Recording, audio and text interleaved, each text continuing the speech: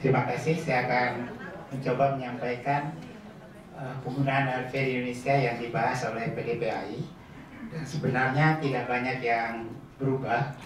Uh, nanti saya akan lebih banyak pada dewasa, dokternya mungkin pada anak-anak.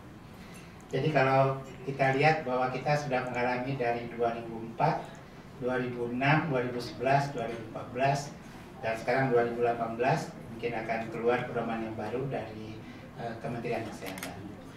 Intinya adalah kita jadi lebih mudah untuk testing, memulai terapi lebih awal, panduan ARV-nya lebih sederhana, dan jenis ARV-nya yang manfaatnya besar tapi efek sampingnya sedikit.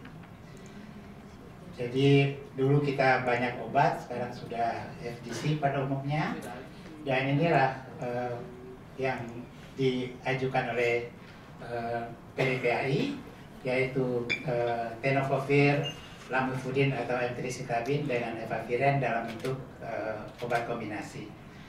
Kita masih memerlukan panduan karena tidak semua pasien bisa memakai uh, kombinasi TDF, CTC dan efavirenz ini. Beberapa persen itu ada yang akan mengalami gangguan ginjal sehingga perlu obat-obat alternatif dan ini adalah obat alternatifnya. Uh, ya ini cuma menunjukkan bahwa kita mulai melirik pada dosis 400 mg tadi ini sudah disampaikan. Uh, efek sampingnya ternyata lebih ringan, tapi manfaatnya uh, tetap bagus. Karena itu uh, kita mencoba untuk yang akan datang itu adalah uh, oh maaf ini pada anak nanti akan disampaikan oleh dokternya.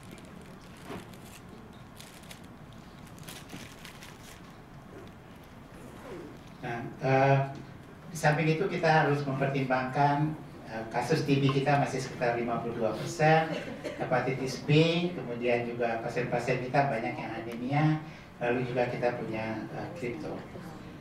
Uh, untuk uh, monitoring ini juga sudah dibahas tadi, kita mulai beralih ke viral load, karena kita tahu bahwa sebenarnya setelah pasien tidak adheren, maka viral load hanya akan cepat berubah dan klinis sudah selalu terlambat.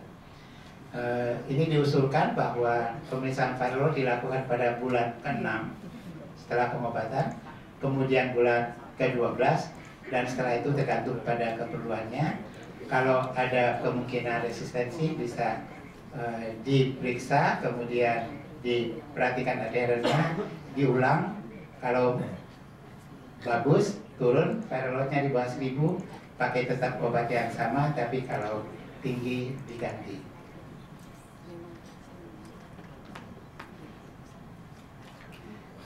Nah ini pada anak